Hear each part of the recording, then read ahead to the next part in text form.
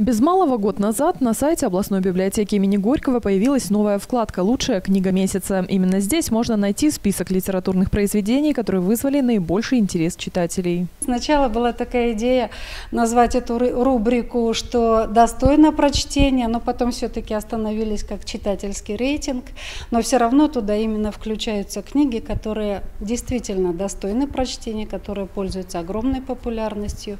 Вот, и книги, которые ну, заслуживает внимания. Специалисты отмечают, интерес к книге, вопреки прогнозам, не угасает. Притом к выбору читатели подходят серьезно. На протяжении первого года проекта в числе лидеров Гузель Яхина, Дэвид Грегори Робертс, Роберт Киосаки, Светлана Алексеевич, Наталья Батракова, Джорджа Моэс, Халет Хасаини, Николай Никулин, Виктор Астафьев.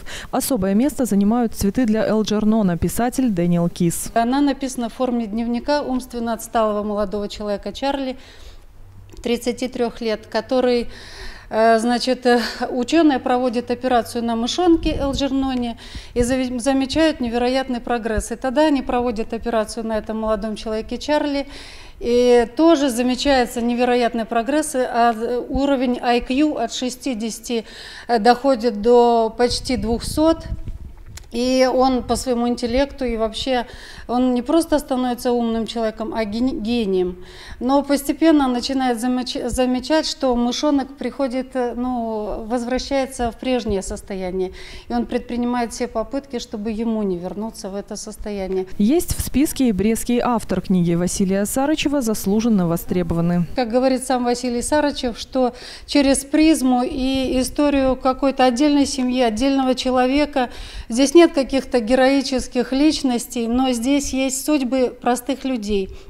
И именно через судьбы простых людей можно проследить историю не только нашего города, но и вообще историю мировую. Не святые святые. Православная книга популярная не только у жителей города над Бугом. Для современного книгоиздания российского вот сейчас уже тираж подходит к двум миллионам.